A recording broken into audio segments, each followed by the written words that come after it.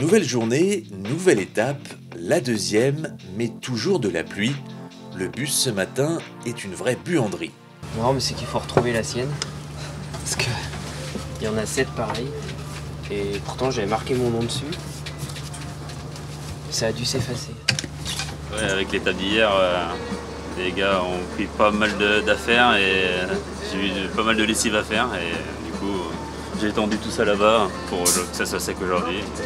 Malheureusement, encore une météo euh, capricieuse, donc euh, ça va être compliqué. Matteo se lance dans une tâche quotidienne, presque inutile compte tenu de la météo. Ça va encore une journée bien pluvieuse, encore plus qu'hier, donc euh, nettoyer les affaires c'est plus pour le, le bien mental que, le- que ça sert à grand chose parce que ça va être dégueulasse après, mais voilà, c'est pour la, la satisfaction d'avoir du matériel neuf au départ, quoi, c'est juste ça.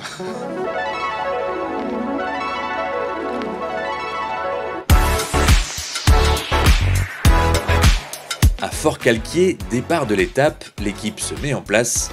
Aujourd'hui, la journée s'annonce mouvementée. Les mêmes conditions qu'hier, en, en pire même euh, en termes de température.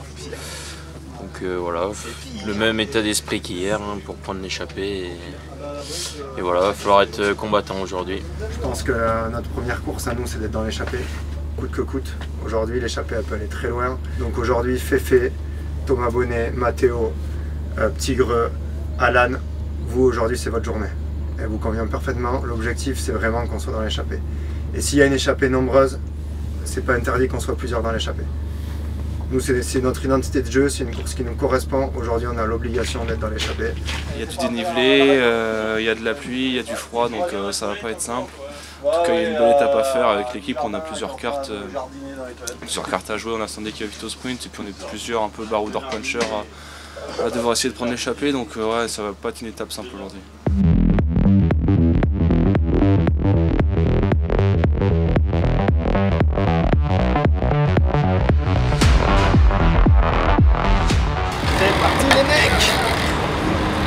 Vu la journée hier, bah c'est le même.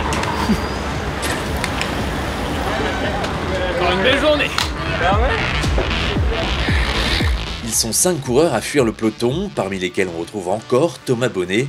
À mi-parcours, il dispose d'une avance de 2 minutes, mais à 50 km de l'arrivée, Thomas est contraint à l'abandon dû à des problèmes gastriques. 20 km plus tard, c'est Valentin Ferron qui jette l'éponge. Dans la dernière ascension de la journée, le peloton se morcelle. Le dernier rescapé de l'échappée n'est rattrapé qu'à 500 mètres de l'arrivée. Thomas Bonnet, lui, assiste à la victoire en costaud de Mats Pedersen. Mathéo Vercher termine 16ème, forcément déçu. C'est- C'est c'est de la natation, c'est pas du vélo qu'on fait. On aurait fait de la piscine, c'était pareil. Encore aujourd'hui, la météo n'aura fait aucun cadeau. Des journées comme ça, on va- je vais pas l'oublier celle-là, ouais, c'était des journées difficiles. C'est vrai que faire un effort dans la bosse à 30 bandes de l'arrivée après euh, toute la journée sous la pluie, c'est pas facile. Donc euh, voilà, faut... mais je suis content, j'ai réussi à basculer et puis au final après je termine dans un petit groupe, je sais pas combien, dans les 20, peut-être 25, donc euh, satisfaisant, mais, euh, mais voilà, faut content d'être pris ma douche chaude là et de me réchauffer dans le bus. Demain, dernière étape de ce Tour de la Provence 2024 avec, si tout va bien, le retour du soleil sur l'arrivée à Arles.